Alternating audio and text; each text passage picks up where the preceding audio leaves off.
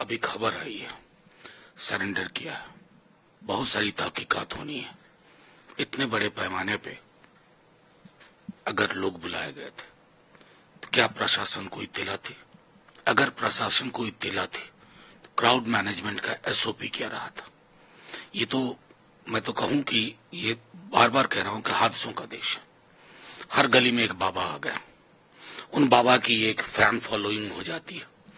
तो धर्मांधता में चीज़ें इस तरह की हो रही हैं, लेकिन प्रशासन का काम क्या है?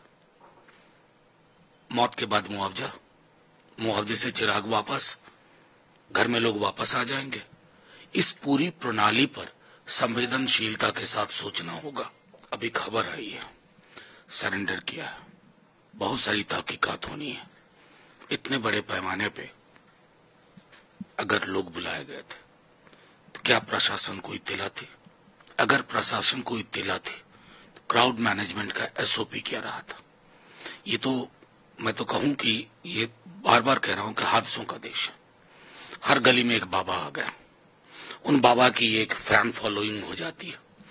तो धर्मांधता में चीज़ें इस तरह की हो रही हैं, लेकिन प्रशासन का काम क्या है? मौत के बाद मुआवजा?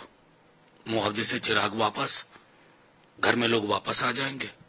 इस पूरी प्रणाली पर संवेदनशीलता के साथ सोचना होगा। अगर आप ये वीडियो YouTube पर देख रहे हैं तो हमारे चैनल को सब्सक्राइब करें और बेल आइकन को दबाना ना भूलें। अगर आप Facebook पर यह वीडियो देख रहे हैं तो हमारे पेज को लाइक करें।